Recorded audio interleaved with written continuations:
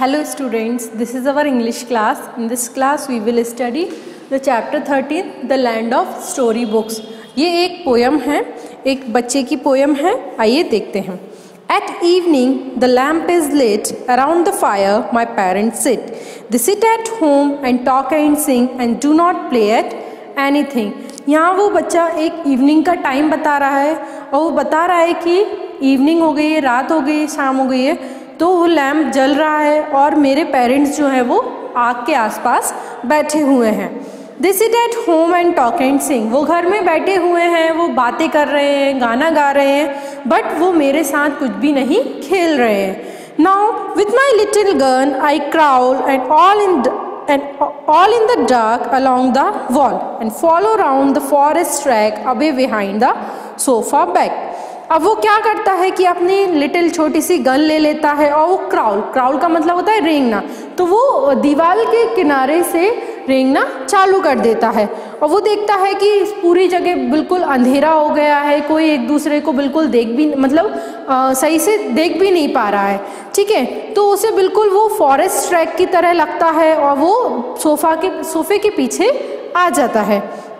There in the night where none can spy, all in my hunter's camp I lie, and play at nooks that I have read till it is time to go to bed. और फिर वो कहता है कि अब रात हो चुकी है जो इतना डार्क हो चुका है कि कोई एक दूसरे को स्पाई यानी देखना मतलब एक दूसरे को अच्छे से देख भी नहीं पा रहा है अब मुझे ऐसा लग रहा है जैसे कि मैं हंटर्स कैंप हंटर्स कैंप मतलब क्या होता है?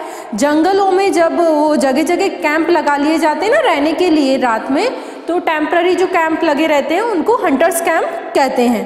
तो मैं हंटर कैंप में हूँ और मैं आ, कुछ पढ़ रहा हूँ और जब तक मैं आ, जब तक मेरा टाइम नहीं हो जाता है सोने का तो मैं अपनी बुक को रीड कर रहा हूँ। These are the hills there are the woods there are my starry solitudes and there the river by whose bring the roaring lion come to drink अब वो अपनी इमेजनरी दुनिया में चला जाता है, वो सोचता है ना कि मैं जंगल में हूँ तो बस वो सोचता जाता है। अब क्या सोचता है कि यहाँ पे हिल्स हैं मतलब छोटी छोटी पहाड़ियाँ हैं, जंगल है, और मैं यहाँ पे अकेला हूँ स्टेरी सॉलिट्यूड सॉलिट्यूड मीन्स अकेला, ठीक है?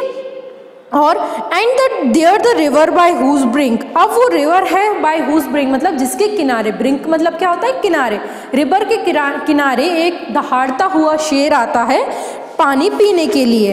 I see the others far away as if in fire lit camp they lay and I like to an Indian scout and the party prowled about अब फिर मैं देखता हूँ कि सभी लोग दूर चले गए हैं। वहाँ कैंप के बाहर आग लग रही है। तो मतलब अपनी इमेजनरी दुनिया में है कि फॉरेस्ट में क्या क्या हो रहा है। और फिर देखता है कि मैं एक इंडियन स्काउट की तरह हूँ। इंडियन स्काउट मतलब यहाँ पे जो कुछ खोजने के लिए आया है। ठीक है? कुछ इन्फॉर्मेशन लेने के लिए।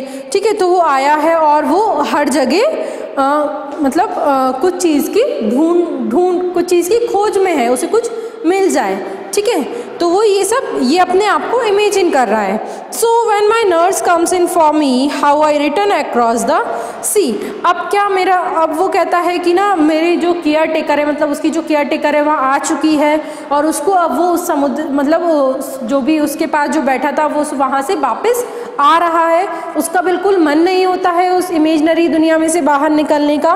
And go to bed with backwards looks at the at my dear land of story books उसका बिल्कुल मन नहीं होता है कि वो उस इमेजनरी दुनिया में से बाहर निकले।